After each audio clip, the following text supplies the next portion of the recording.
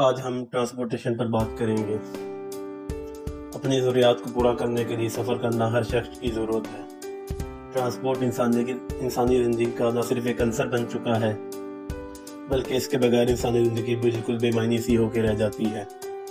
آج سے سو سال پہلے کی ٹرانسپورٹ کو دیکھا جائے، جس میں جانوروں کا استعمال کیا جاتا رہا ہے۔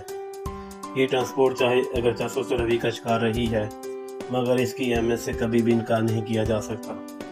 مگر آج کی جدید ٹرانسپورٹ اپنا کوئی ثانی نہیں رکھتی ہے، جس نے دنوں کے سفر کو گھنٹوں میں بدل کے رکھ دیا ہے۔ جیسے جیسے ٹرانسپورٹ میں جدت آتی گئی، ویسے ویسے دنیا ترقی کرتی گئی۔ جدہ ترقی کا بھی صحرا ٹرانسپورٹ کے سر پر ہی ہے۔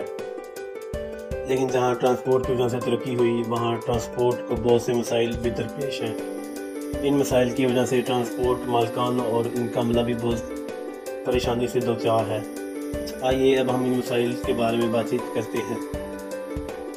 جب ہم نے چند ایک ٹرانسپورٹ مالکان اور چند ایک ڈرائیورز اور کنڈکٹر سے بات کی، بات چیت کی، تو ان کے خیالات کچھ یوں تھے۔ ہم تقریباً ٹرانسپورٹ کے کاروبار سے تیس سالوں سے منسلک ہیں۔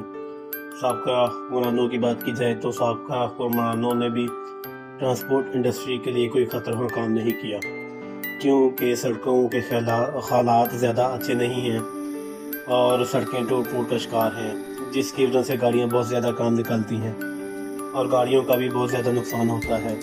اور جب سڑکوں کے مرمت کا وقت آتا ہے، تو وہ لوگ اپنے ہی ٹھیکیداروں کو ٹھیکے دیتے ہیں اور وہ ٹھیکیدار انتہائی ناقص مٹیریل استعمال کرتے ہیں جس سے نئی سڑکیں بننے کے کچھ دیر بعد ہی ٹوٹ پھوٹ جاتی ہیں۔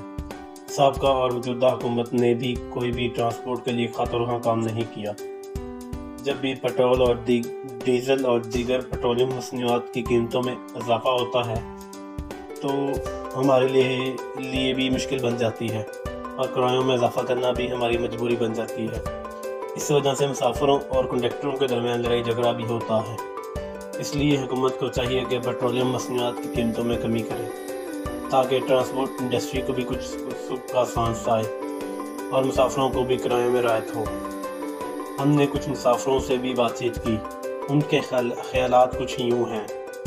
ہم اس بس سروس یا پبلک ٹرانسپورٹ سروس سے مطمئن نہیں ہیں۔ کیونکہ ایک تو بسوں کا عملہ اوور لوڈنگ بہت زیادہ کرتا ہے، جس سے مسافروں کو بہت پریشانی کا سامنا کرنا پڑتا ہے۔ اور خاص کر خواتین مسافروں کا بہت بڑا حال ہوتا ہے۔ لیکن کچھ مسافر خواتین کا احترام کرتے ہوئے ان کو سیٹیں دے دیتے ہیں اور کچھ نہیں دیتے۔ یہی حال بزرگ لوگوں کا بھی ہے۔ ان کو چاہیے کہ اوور لوڈنگ سے پرہیز کریں۔ موجودہ حالات میں ٹرانسپورٹ کے کرایوں میں بے پناہ اضافہ ہوا ہے جو مسافروں کے لیے بہت زیادہ پریشانی کا باعث ہے۔ اگر دیکھا جائے تو گاڑیوں کے کرایوں بھی اسمانوں سے باتیں کر رہے ہیں۔ اگر یہی حال رہا تو لوگ گھروں سے نکلنا ہی بند کر دیں گے۔ یا ایک بار پھر وہ پرانا وقت واپس آ جائے گا جب لوگ پیدل یا جانوروں پر سفر کیا کرتے تھے جب بھی پٹرول اور ڈیزل کی قیمت میں اضافہ ہوتا ہے، بالکل کرایوں میں بھی اضافہ ہونا چاہیے، مگر مناسب ایک بات یہ بھی ہے کہ اگر پٹرولیم مصنوعات میں پانچ روپے اضافہ ہوتا ہے تو کرایوں میں پچیس روپے اضافہ کر دیتے ہیں۔ حکومت وقت کو چاہیے کہ جہاں وہ پٹرول ڈیزل میں اضافہ کرتی ہے، وہاں پر ہر گاڑی کو کرایہ نامہ بھی جاری کرے۔